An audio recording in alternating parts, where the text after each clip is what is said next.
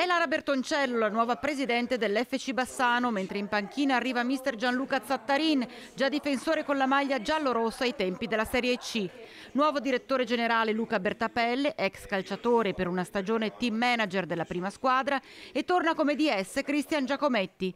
Il settore giovanile ancora una volta viene affidato alla guida tecnica di Gian Antonio Tessarollo, si affianca come allenatore della Juniores nazionale Antonio Buono. Insomma, una grande rosa di nomi per per la società e tanta l'emozione della neopresidente Bertoncello, figlia del compianto Gian Antonio, per anni leader dei fedelissimi, che punta sulla continuità e sulla fusione tra prima squadra e settore giovanile. La nostra è una società sportiva, sì, ma non solo, noi promuoviamo lo sport anche attraverso i valori insomma, del, del, sociale, della, della, promozione dei giovani e quindi da questo punto di vista lavorerò in continuità. Sì. Lo sport è per me una palestra di vita prima di tutto, quindi anche sapere eventualmente gestire le situazioni un po' più complicate eh, diventa veramente il valore aggiunto di una società sportiva.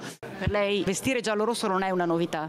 Ma no, come ho già detto è un'emozione, un'emozione eh, perché ho fatto due anni eh, belli, importanti qui a Bassano da calciatore e ritornare a, in un'altra veste, una veste importante con responsabilità, però è, è un sogno che si è avverato. I principi che muovono il calcio bassano devono sono, eh, sono quelli della sostenibilità, eh, della correttezza e, e, chiaramente del valorizzare da quest'anno, dopo che abbiamo fatto questa fusione col settore giovanile, valorizzare appunto i giovani del nostro settore giovanile.